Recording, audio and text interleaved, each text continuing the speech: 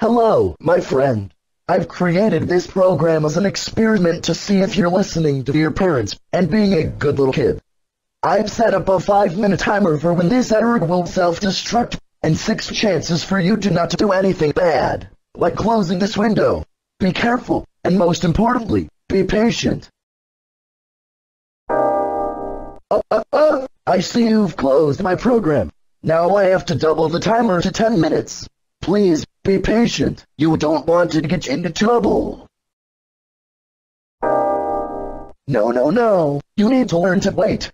I've set a timer to 20 minutes now. Uh-oh. You're now three chances away from losing your privileges. Please stop closing this window and wait for 40 minutes. Could you please stop? You're not being a good kid right now. Your timeout's getting longer. Okay, you have to quit this right now. If you close this window one more time, you'll have to be prepared to get in trouble.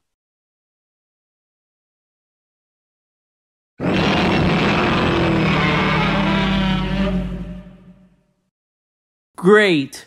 Your super triggered punishments made your computer crash.